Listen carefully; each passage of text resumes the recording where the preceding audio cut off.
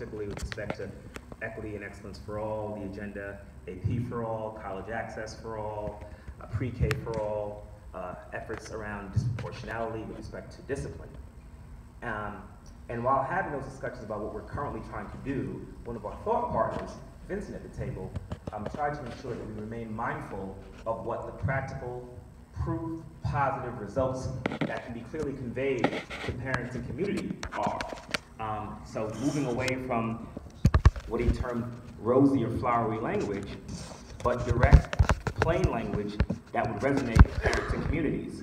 And for that part, I want to turn the mic over to Vincent because I can't say it as well as he did.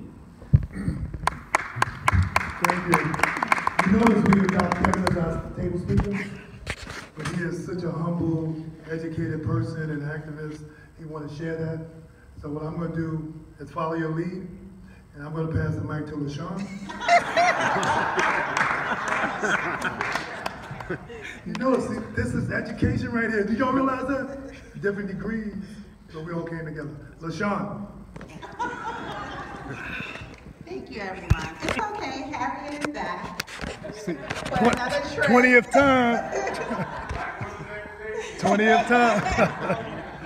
So it's true, Vincent keep us, you know, held us accountable here um, for being able to engage the community. Um, we were very concerned about how the initiatives that we have are being translated to parents.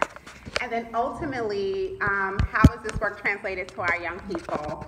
Um, when we talk a lot about um, AP for All, for example, what are the wraparound supports to ensure that parents can support their young people in having access to the courses? How do we map back and think about pre-AP supports and resources? How do you make this work relevant to a young person so that they can understand the benefits and to a family as well? So something that he made um, me think about from working with the Department of Education, when we think from 3K or pre-K straight up to college access or AP, what are the entry points for parents? And how do we communicate this work to parent coordinators in a way so that they're communicating to parents in a larger community so that everyone can be engaged and on the same page about what we mean when we say equity and excellence for all. And finally, we spoke a lot about culturally relevant pedagogy and ensuring that young people have teachers and school leaders at the front of the classroom, leading the school community, who look like them, who reflect their culture, so that young people can see themselves in leadership positions and in teaching positions in the, in the school community, but also teaching our young people about their history from very early on, not beginning with slavery,